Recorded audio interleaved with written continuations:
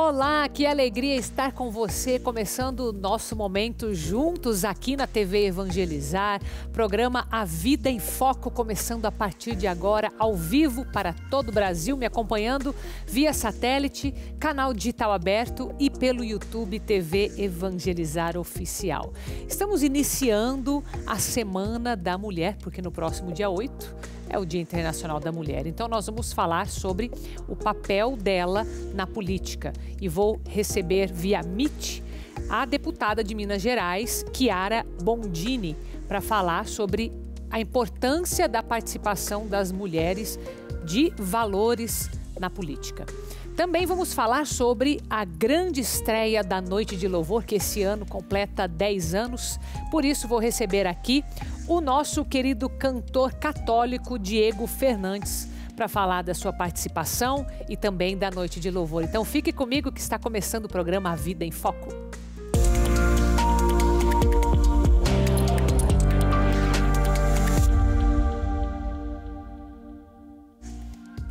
Então vamos dar oficialmente as boas-vindas a ela que vem lá de Minas Gerais, via MIT. Ela é deputada por Minas Gerais para falar sobre as mulheres na política. Chiara Biondini, seja muito bem-vinda, viu, minha querida? Boa tarde, boa tarde, Carol. Muito obrigada pelo convite, é um prazer para mim estar aqui hoje com vocês. Eu que agradeço, viu? A gente sabe que você está bem conhecida por ser a mais nova mulher, não é isso, na política. Então eu sei que quem às vezes está ligando agora a televisão vai ver o seu rostinho, mas vai entender todo o papel que você está fazendo, que é muito importante. Então obrigada por encaixar aí na tua agenda e ficar com a gente para conversar um pouco aqui, viu? Eu que agradeço, exatamente. Sou a deputada mais nova do Brasil e, enfim, é um privilégio falar com vocês. E tem desafios sendo uma mulher, ainda sendo mais nova. Eu queria que você contasse até um pouco como foi esse teu ingressar é, aos 21 anos, não foi isso? Exato. Eu entrei quando eu fiz essa campanha para deputada, eu tinha apenas 20 anos. E na Constituição fala que o deputado, para tomar posse, tem que ter 21 anos. Então, eu fiz meus 21 anos no dia 22 de fevereiro. Foi quando eu tomei, minha, tomei posse. Meus colegas parlamentares tomaram posse dia 1 de fevereiro a cada ficou 20 dias aí com um deputado a menos, e no dia 22, quando eu completei 21 anos, aí eu tomei posse. Então, realmente batendo esse recorde aí de deputada mais nova, meu caso foi julgado até pelos ministros do TSE. E, mas é isso, ganhamos estamos fazendo um bom trabalho, graças a Deus. Tem uma, querendo ou não, a gente acaba enfrentando alguns desafios devido à idade, devido a ser mulher. Eu falo que o político ainda ele tem uma figura, né? As pessoas têm a figura de um político que normalmente é um homem, um homem mais velho, um homem mais experiente, e eu acabo indo na contramão desses dois fatores. Mas eu tenho muito diálogo, eu tenho muita tranquilidade, muito respeito, e com isso eu vou quebrando possíveis tabus que as pessoas têm, ou possíveis desconfianças, né, de que eu não tenho ainda é, capacidade. Como eu, desde nova, acompanho meu pai, era o deputado Eros Biondini, eu já tenho total conhecimento da política, e aí a gente vai devagar, com diálogo, com respeito, com discursos, mostrando que a gente está preparado. Que legal.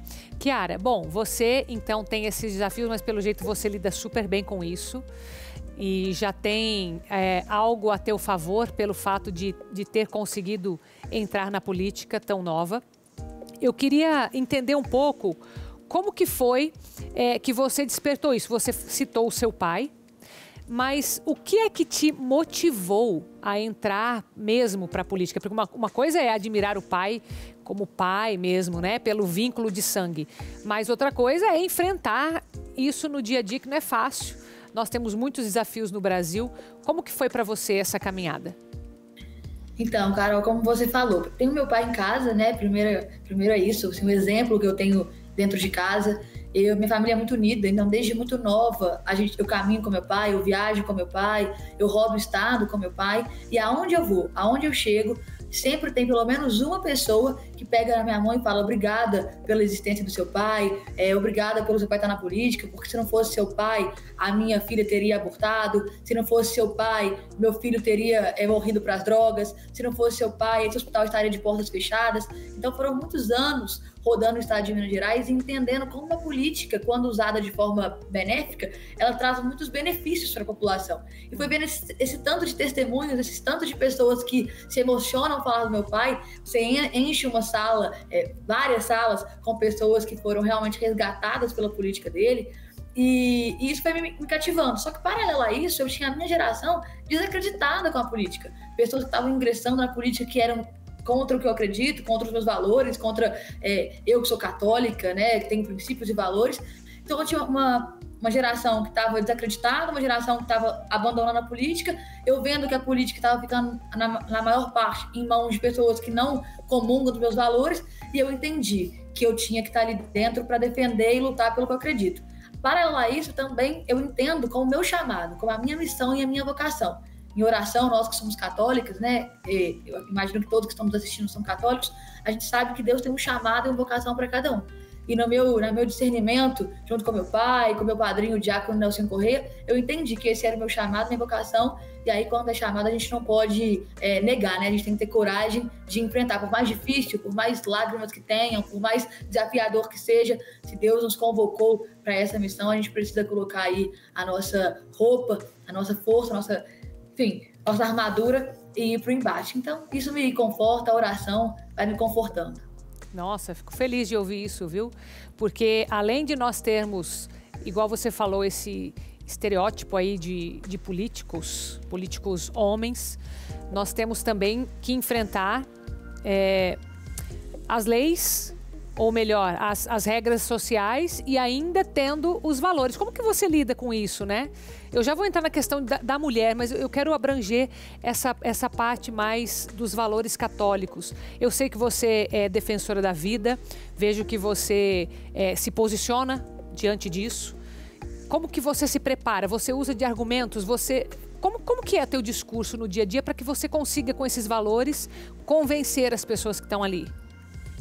Então, Carol, eu estudo muito, né? E além, além de ter caminhado com meu pai e ter testemunhos, por exemplo, no meu gabinete hoje eu tenho três assessores que são ex-dependentes químicos pessoas que foram recuperadas das drogas, estavam na, nas ruas, estavam em uso de drogas, e a gente, então, é, através do, do, projeto do meu pai, do nosso grupo de oração Mundo Novo, as pessoas passaram pela clínica de recuperação, foram recuperadas e hoje trabalham conosco aqui no gabinete. Então, além do teu testemunho prático, dos meus, dos meus valores, que eu aprendi na igreja, que eu cresci aprendendo, eu estudo muito sobre todas essas áreas. E é muito difícil, como você falou. Em um ano de mandato, eu já vi o STF querer liberar as drogas, eu já vi tentativas também de liberar o aborto, discussões aqui, aqui na Assembleia de Minas para ter ideologia de gênero nas escolas, para ter linguagem neutra. Isso vai machucando a gente, né? Eu fiz a primeira audiência pública que foi para falar contra o aborto, foi eu que, nasci em alguma Assembleia do Brasil, foi eu que fiz, eu que promovi aqui em Minas Gerais, na Assembleia de Minas,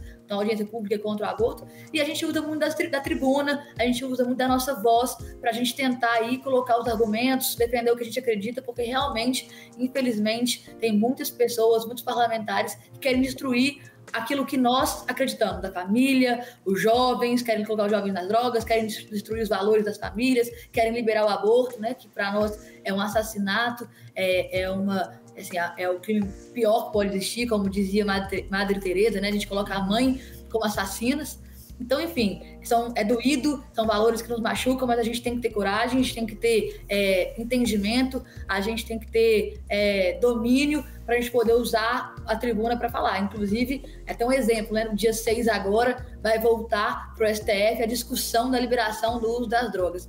Isso é de doer o nosso coração e a gente faz o que a gente pode para tentar, tentar, convencer e influenciar outras pessoas, outros jovens, de que os nossos valores são os valores corretos, de levantar uma geração de valores e princípios. A gente fala que hoje é, o presente é deles, mas o futuro é nosso. Uhum. E também ter argumentos para a gente conseguir barrar é, que pautas contra o que a gente acredita venham a ser votadas. Eu digo um exemplo também há pouco tempo que o presidente, né, que a ministra queria aumentar o tempo de que era possível fazer aborto uhum. em casos já, legal, já permitidos na lei. Hoje o aborto ele só pode ocorrer até os três primeiros meses, depois é, se faz um parto. E aí a ministra queria é, aumentar esse tempo até os nove meses e a posição de vários parlamentares que usaram a tribuna, que usaram suas redes sociais, fez com que em menos de um dia a ministra voltasse atrás e tirasse essa nota, essa conclusão. Então, a gente tem que usar a nossa voz para que a gente defenda o que a gente acredita. É, eu acompanhei, dei graças a Deus que isso aconteceu, mas me preocupa também pelo fato de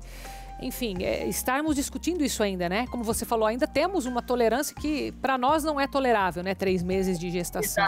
Enfim. É, mas eu sei que isso é uma outra discussão. Mas, Kiara, com relação à tua participação como mulher agora, tá? É, daqui a pouco eu vou ter que ir para um intervalo, então eu vou fazer a pergunta. Se não der tempo de você responder, você vai voltar aqui comigo. Mas é, você, como mulher aí, você sente que algumas pautas você está meio que sozinha ou você tem o apoio aí internamente de outras mulheres? Como que é isso? Ou, ou não necessariamente? Como que funciona? Então, Carol, eu falo muito isso, né? Sempre me perguntam a dificuldade de ser mulher na política, né? Como é difícil. E, de fato, é, é complicado e pergunta se eu sofro muito preconceito. Muitas das vezes eu sofro mais preconceito das próprias mulheres, porque a maioria das mulheres que aqui estão no parlamento são mulheres que têm valores diferentes dos meus, são mulheres que querem destruir aquilo que eu acredito. Então eu me sinto muitas vezes sozinha, me sinto muitas vezes com colegas parlamentares, poucos e homens. Mas, enfim, a gente a gente enfrenta isso de peito aberto, eu não tenho medo. Teve uma vez que eu fui votar contra um projeto de uma deputada da esquerda, eu estava sozinha votando e tive por parte de uma assessora de uma parlamentar xingamentos, algo de forma muito baixa, mas eu, eu lido bem, eu enfrento, eu tenho é, total convicção dos meus valores, convicção do que eu acredito, e aí eu vou, eu, eu vou e voto e me, me preparo para enfrentar. Mas, como eu disse, eu me sinto nessa solidão da mulher com valor, da mulher com princípios, da mulher católica, cristã, de direito e conservadora. E você acha que, por exemplo, a mulher ela tem uma visão é, diferente da visão do homem para propor o, o, que é necessário de mudanças também? Ou os homens conseguem enxergar com facilidade? Com certeza. Eu acho que os, os homens e as mulheres têm papéis importantes, são olhares diferentes. Eu não consigo dizer que é, um é superior ao outro. Pelo contrário, eu acho que cada um na sua, no seu, na sua, no seu talento, na sua forma de olhar, na sua forma de conduzir. Eu tenho colegas parlamentares aqui que são excelentes parlamentares. Eu sempre falo que, na verdade, o eleitor não tem que votar pelo sexo, tem que votar pelos valores e votar pelo que aquele é, candidato, aquele parlamentar, ele faz de concreto no que acredita, mas eu acho que a mulher ela tem um olhar de cuidado, né? Um olhar de mãe, um olhar de, de dona de casa, né? Um olhar que a mulher tem. A gente, a gente fala que a mulher, uma mulher edifica sua casa. Mulher, uma mulher sábia edifica sua casa. E mulheres sábias edificam uma nação. Então a gente tem que trazer essas mulheres que têm nossos valores para estarem junto com os homens que também têm nossos valores, para que a gente consiga olhar de, de olhares diferentes, de visões diferentes, para a gente fazer uma política que a gente acredita, né? Eu, por exemplo, sou contra cota para mulher, porque eu acho que o importante mesmo é a mulher entender o seu papel, a mulher entender a sua função, querer estar ali se ela sentir que aquela é a sua, é, seu chamado, a sua vocação, e colocar pautas e, e, projetos que sejam de agrado da população. E como eu disse, a gente traz os homens que acreditam nos, valores, nos nossos valores, e mulheres, eles se complementam, porque o homem tem o seu papel e a mulher tem o seu Sim. papel. Com certeza. Kiara, é, vou pedir para você ficar um pouco mais comigo, mas a gente vai sair para um intervalo e a gente volta falando sobre o papel da mulher na política. Enquanto isso, você fica com imagens de Crato, no Ceará, e você me acompanhando pelo canal 39.1. A cidade está no Cariri cearense, é conhecida como o oásis do sertão, com condições um pouco mais úmidas de clima. Já eu volto com você.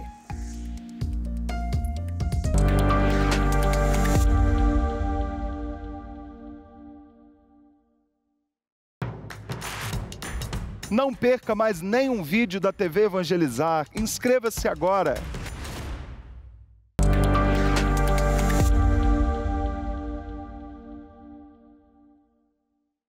De volta com o programa A Vida em Foco ao vivo para você em todo o Brasil. Já já eu continuo a nossa conversa de mulheres na política, mas por enquanto quero te convidar para o nosso próximo evento lá em Minas Gerais. Olha só, falando de Minas Gerais, Divinópolis vai nos receber com muito carinho, com muita alegria no primeiro Evangelizar é Preciso Divinópolis, que será no próximo dia 16 de março. Está chegando, é um sábado, com este tema Reveste-me da armadura de Deus. A partir da, do meio-dia, a gente já começa a transmissão, inclusive pela TV Evangelizar. E você que está comigo aqui me acompanhando, se ainda não fez a sua inscrição, faça para você nos encontrar lá. Estaremos juntos numa tarde com muita oração. Vai ter o um momento das capelinhas de Jesus das Santas Chagas, com muitos testemunhos fortes que mexem com a nossa fé. Teremos Santa Missa, teremos momento com o Padre Christian Shankar e Padre Reginaldo estará de braços abertos acolhendo a cidade de Divinópolis e todos os mineiros que estarão presentes. As camisetas já estão à venda, então aparece o telefone aí para você ter mais informações e também os três endereços que nós temos as camisetas. Livraria São João Paulo II, na Rua Goiás 1129, Livraria Mãe Rainha de Divinópolis, Rua Antônio Olímpio de Moraes, número 600, e pela Rádio Div FM, Rua Maranhão 400. E mais informações pelo telefone 0 operadora 37 2101 7913. Então espero você, em dia 16 de março, no primeiro Evangelizar é Preciso Divinópolis. Agora nós estamos na Semana da Mulher, abrindo a Semana da Mulher. Em breve a gente vai ter o Dia Internacional da Mulher, não é? No dia 8. E por isso nós começamos falando de um tema tão importante que é o papel da mulher na política. E eu estou falando com a deputada que é a mais jovem do país. E ela está em Minas Gerais, ela é deputada estadual por Minas Gerais, a Chiara Biondini. Minha querida, a gente falava antes sobre alguns desafios, não é? E agora eu te pergunto o seguinte: que projetos você considera que são a base, a estrutura da sociedade, que são importantes, de repente, para outros projetos maiores e, e, e por ali você vai fazendo as suas propostas? Então, pode dizer que eu acho que as duas áreas que eu acho hoje mais importantes de projetos para o futuro para o Brasil caminhar cada vez é, mais para frente, é tanto a geração de emprego, né, projetos para é, conseguirem aumentar o emprego no nosso país, para valorizar o empreendedorismo, para contribuir com a empregabilidade do nosso país e também, sem sombra de dúvidas, a educação, né? A educação é, importante, é uma importante ferramenta, a educação é o que move aí o futuro das novas gerações. Então, eu acho que cada vez mais a gente tem que ter uma educação mais atualizada, uma educação mais inovadora. Eu tenho um projeto de lei, por exemplo, de colocar a educação financeira nas escolas, para que os jovens possam ter acesso ao dinheiro, possam ter acesso a, essa, a esse domínio desse assunto. Então eu acho que o que move hoje o futuro, né? Que claro que tem várias outras áreas que são importantes, mas na minha visão, assim, para o Brasil cada vez é crescer mais a educação financeira nas escolas, a educação digital para aquelas pessoas que têm, sei lá, 50 anos, 60 anos, pessoas mais é, com idade um pouco mais avançada, não caiam em golpes, não sejam, uhum. é, não tenham perdas de dinheiro pelo, pela internet, enfim. Então eu acho que a educação e a geração de emprego e do empreendedorismo, principalmente na juventude, é o mais importante. Perfeito. Agora, quando a gente fala, você falou um pouco na nossa conversa anterior sobre o, o, a falta de apoio mesmo de outras mulheres com os mesmos valores. O que, que você acha que é necessário, até de forma estratégica, se a gente for pensar, que essas eh, mulheres que estão nos assistindo e que de repente tenham ali uma sementinha plantada, mas o que, que elas precisam fazer? De que forma que elas precisam se preparar para entrar na política? Porque isso é tão necessário, né? Pra, até para te dar o apoio nos valores cristãos. Exato, Carol. A política não é só a pessoa que está ali no mandato, exercendo o seu mandato. A política é todo um complemento de, de posições. Tem a, a, aquela mulher que ela vai sentir o chamado de ser uma parlamentar, seja vereadora, prefeita, deputada estadual, federal, enfim, governadora, e tem aquelas outras mulheres que, que a chamada dela vai ser liderar ou dar suporte para as parlamentares nos bastidores. Uhum. Então, eu digo que uma pessoa que está numa cidade, está numa região, e ela se levanta e ela faz um grupo na sua cidade, na sua igreja, é, um grupo de de influência, um grupo com valores, ou uma pessoa que vai trabalhar nos bastidores da política, ajudando ali o a parlamentar a se preparar, ou de fato a parlamentar, são, são áreas que precisam que vão se complementando. Então eu convido, né, e chamo a todas as mulheres que estão nos assistindo, independente da idade, jovem ou, ou adultas, enfim, que têm os valores como os nossos, valores muito bem consolidados, que querem um futuro para as nossas crianças, para o nosso país, um futuro sério, um futuro correto, querem que nossas crianças estejam no caminho é, do bem, um caminho de valores. Eu, eu chamo e convido essas, essas mulheres a entrarem na vida política, a, a, estarem apoiando outras mulheres que tenham chamado de ingressar, ou então, assim, de fato, se candidatarem, a se preparar, a entender como funciona, a conversar com parlamentares que já estão nesse meio. Nós temos hoje, somos poucas, mas somos unidas, é, parlamentares de diversos estados, e aí conversar com esses parlamentares e caminhar junto conosco na política, porque é importante. Às vezes a gente sente essa solidão, a gente se sente sozinho e se posicionar, né? É muito importante que a gente comece a ter coragem de se posicionar, coragem de se levantar, coragem de falar no grupo de amigos, que eu falo que a gente influencia desde uma pessoa a um milhão. Não importa quantos seguidores a gente tem na rede social, não importa a posição que a gente está na nossa cidade, se a gente, influencia, a gente influencia de uma pessoa a milhões de pessoas. E o importante é se posicionar, ter convicção dos valores, ter firmeza no seu posicionamento, e assim, de pouquinho em pouquinho, a gente vai mudando o cenário político, mudando a participação das mulheres, tirando as mulheres aí de um feminismo, de destruição dos valores da Igreja Católica e trazendo mulheres que, que são mães, mulheres que, que têm a feminilidade, mulheres que sabem o valor de ser esposa, de ser mãe, de ser dona de casa, de ser uma mulher de fé com princípios. É, Kiara, também é, agora uma pergunta mais geral sobre a população mesmo, os eleitores, a sociedade. Como que eles podem estar mais é, a par daquilo que realmente é importante, porque são tantos projetos que surgem, tantos que vão à, à mídia, mas muitos que não passam por ali, né? Como que você diria que, que a sociedade tem que se preparar e se envolver para saber o que realmente está passando, o que realmente eles precisam se posicionar, dar o suporte, como você falou? É, eu acho que, graças a Deus, cada dia que passa, as pessoas estão é, mais é, entendendo de política, mais participativas, mais por dentro, sabe? Eu até recebo, cada, cada dia mais eu recebo críticas, conselhos, ideias, é, elogios.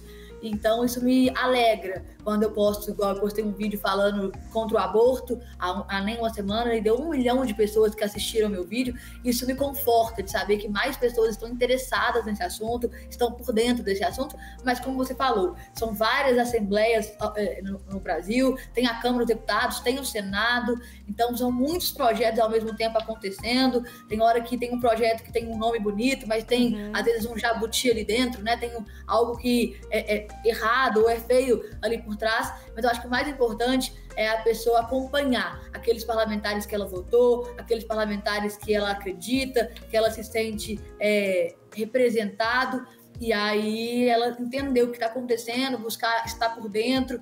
E eu acho que as redes sociais hoje é o melhor caminho para que mais pessoas estejam a par, estejam por dentro do que vem acontecendo e não fiquem só numa, numa fonte, porque muitas vezes a, a mídia, né, uhum. a mídia nacional, ela, ela pode ser tendenciosa, ela pode ser, ela pode influenciar. Então eu acho que aquela, as pessoas elas precisam ir para as redes sociais, é, pressionar por algum assunto, como eu falei anteriormente a gente teve há pouco tempo o caso de uma tentativa de liberação de aborto em casos já permitidos é, na lei e o posicionamento de tantos que se levantaram fez com que é, o presidente voltasse atrás. Isso é muito importante. Então, quando as pessoas é, entendem isso, que a força da população ela faz com que um parlamentar vote assim ou vote, daque, ou vote daquele jeito, a gente entende que a gente tem uma força muito grande, a população tem uma força muito grande. Então, o conselho que eu dou, eu acho que a dica que eu dou é, é votar com consciência, acompanhar aqueles parlamentares que você votou e estar por dentro dos assuntos que estão sendo votados aí é, em todas as casas legislativas. Perfeito. Kiara, só mais uma pergunta agora um pouco mais pessoal.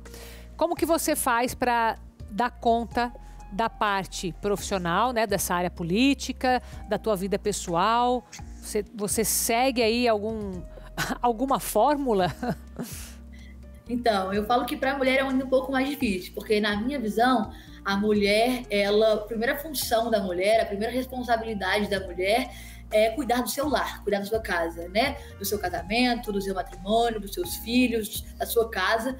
E hoje eu ainda não sou casada, não tenho a minha família, então com isso para mim é um pouco mais fácil conciliar. Uhum. Mas eu sou filha, eu sou irmã, então eu também tenho meu papel de, de mulher em casa muito bem entendido, porque não adianta você cuidar de uma nação, você cuidar de outras famílias, e mas não cuidar da sua casa, do seu lar. Mas é difícil.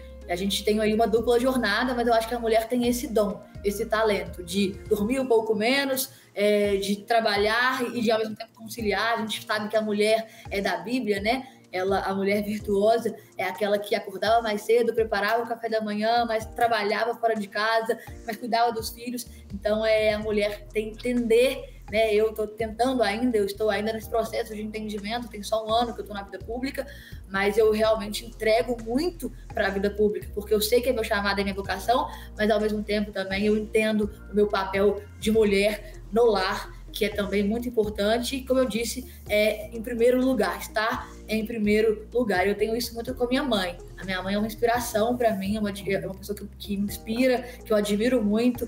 Ela, quando era mais. Hoje ela não trabalha, mas quando era mais nova, ela também atuava é, na escola, dava aula, era professora, mas ela sempre teve na vida dela, no entendimento dela, que cuidar do matrimônio, cuidar dos filhos, cuidar da sua casa era o principal. E aí a gente vai realmente cuidando aí da, de várias das múltiplas funções que a mulher tem e que é o lindo de ser mulher, né? Não tem nada mais bonito do que você poder engravidar, do que você poder cuidar, do que poder, você poder gerir.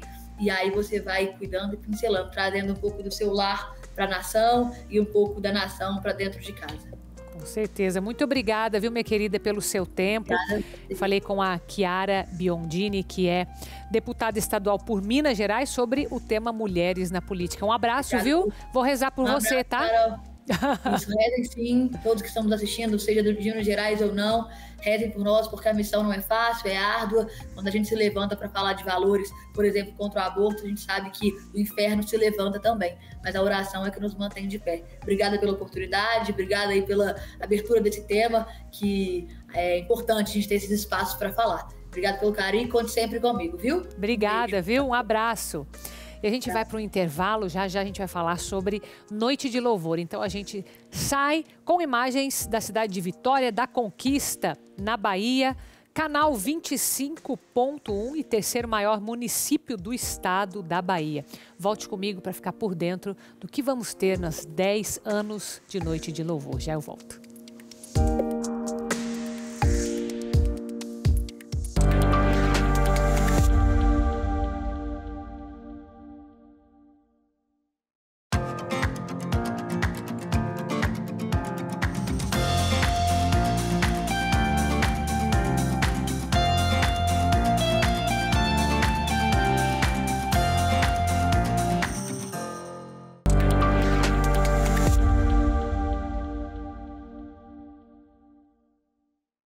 Nós estamos no mês de março, mês de São José.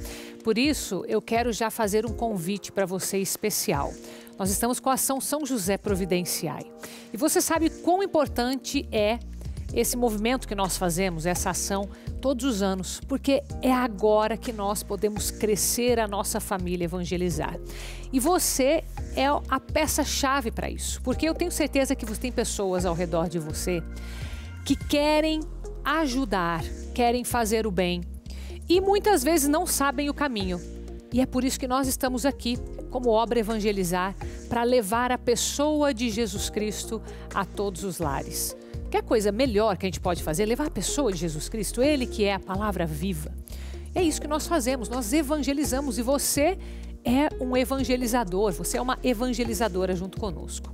Por isso, durante esse mês, indique três novos associados para que a gente possa entrar em contato e convidá-los a fazer parte também desta grande família que é uma benfeitora nacional a obra Evangelizar é Preciso. Você pode fazer de várias formas. Você, se ainda tem o boleto que foi lá em dezembro, não sei se você tem ainda, né? Se você tem, você pode preencher aquele formulário que foi junto, senão você pode ir pelo nosso site, que por lá também você pode fazer as suas indicações, você pode ligar pelo 0 operadora 41 3221 6060, que agora a gente tem um 0800, que é o 410 6060. E eu quero aproveitar também já te incentivar, você que é nosso associado, que seja fiel porque também nós temos as nossas contas para pagar, viu? Então já vamos aproveitar esse comecinho de mês de março para que a gente já faça a nossa contribuição, já pegue o boleto, já faça a sua doação por Pix, como for melhor para você, para que a gente possa, de fato, continuar nesta evangelização. Então, muito obrigado a você que nos apoia todos os meses e nos ajude também durante este mês de março. Agora, como nós estamos nessa semana especial da mulher, nós preparamos uma série aqui para você que traz histórias de mulheres reais, mulheres que tiveram que enfrentar muitas vezes preconceito, falta de coragem delas mesmas, tiveram que usar de criatividade, tiveram que enfrentar o desânimo e tantas outras batalhas que as mulheres enfrentam para conseguir ser protagonistas da vida delas. Hoje você vai acompanhar a história da Meire Gomes, que começou vendendo produtos e hoje é embaixadora da própria marca. Acompanhe esse VT comigo. Formada em serviço social, há quase seis anos, Meire Gomes decidiu empreender. Começou a vender produtos de beleza, depois abriu um salão. O espaço exclusivo para atender mulheres é a realização de um sonho que ela nem sabia que tinha. Comecei a vender para o consumidor final, vendia para as minhas amigas e elas mesmas me falavam: Meire, você precisa dar um passo a mais. Quando eu fui entendendo a necessidade que tinha de mulheres que precisavam de especialistas, por exemplo, naquilo que eu faço, que é o alisamento, isso me veio sim como um, algo certeiro. Eu sabia que eu precisava fazer algo a mais. É você juntar o útil ao agradável é, Deus ele me proporcionou ter esse espaço e junto com isso eu entendo que faz parte do meu propósito de vida. Quando elas chegam no salão explicando a dor delas, o como que a estima dela está muito baixa por não ver um cabelo brilhoso, bonito, cheio de vida, ali entra o meu trabalho primordial que é devolver essa autoestima. Eu sempre me dediquei muito, procurei é, conhecimento, estudei bastante e fui, de certa forma, me destacando. E a empresa, ela foi vendo todo esse meu crescimento, né? Quando eu recebi a proposta, é, foi assim impressionante, eu não consegui nem acreditar. Né? Eu já buscava algo, mas eu nunca imaginei que eu conseguiria chegar a esse título de embaixadora a principal mensagem: não desistam dos seus sonhos, sejam eles grandes, pequenos, independente de como que seja, você precisa perseverar. Você tem um objetivo? Corre atrás dele. Coloque Deus na frente e você vai conseguir conquistar os seus objetivos, porque sonhos eles foram feitos para serem realizados. Mulheres, você vai conhecer muitas histórias durante essa semana para te inspirar e que você também seja uma protagonista da sua vida. Hoje é um dia muito especial, viu, aqui na obra Evangelizar, porque agora estamos oficialmente já nos preparando para uma década de Noite de Louvor. Hoje vai ser já o primeiro programa, já estreando essa nova temporada deste ano especial de 10 anos. 10 anos de trajetória, 10 anos com grandes nomes e com muita força da oração em grupo, porque nós somos o maior grupo de oração nacional aqui na obra Evangelizar, transmitido pela TV Evangelizar toda segunda-feira por 10 anos. Então foram muitos cercos de Jericó, como você vê imagens, muitas orações para derrubar muralhas, muitas orações com a presença do Santíssimo exposto, Santíssimo Sacramento. Muita música, muitas pregações e imagina como que vai ser esse ano de uma década. Hoje, pessoal, você viu imagens, já está preparado, já tem gente aguardando isso, que não são nem 5 horas da tarde, já são 20 para 5 então o pessoal já está chegando porque esse grupo de oração, ele acontece aqui fisicamente. Então as pessoas estão aqui rezando e nós nos unimos a você de todo o Brasil. Então olha que bênção nós podemos estar com uma família tão grande todas as segundas-feiras. E eu me lembro até hoje de uma conversa que nós tivemos aqui com o diretor da TV Evangelizar, falando que a segunda-feira ela, ela era tida, pelo menos era para nós, né? Como um dia assim mais assim, meio obscuro. Né? Um, um dia em que as pessoas vão mais desanimadas. E nós viemos com a noite de louvor para quebrar isso, para dar um ânimo para as famílias. Essa noite que você se reúne e então a luz de Deus ilumina e vem com todo o poder. Essa é a proposta. Por 10 anos nós estamos vivendo isso e esse ano vai ser super especial. Hoje nós teremos a participação de Diego Fernandes. Estará aqui com a gente também Padre Patrick Fernandes. Olha, os dois ali com o mesmo sobrenome, gente. Parecem até irmãos, né? Vão estar aqui dando a presença, dando a bênção. Então você, de todo o Brasil, vai poder acompanhar a partir das 19 horas aqui pela TV Evangelizar aí no conforto da sua casa e com muita oração. Então, aí na sua casa, acenda uma vela, faça desse momento um grupo, chame pessoas, chame a sua família, chame amigos e se reúna conosco às 19 horas. E você que está aqui na região metropolitana, Curitiba, vai participar presencialmente? pode vir para cá já, viu? Que já tem uma fila ali fora no Anfiteatro Jesus das Santas Chagas.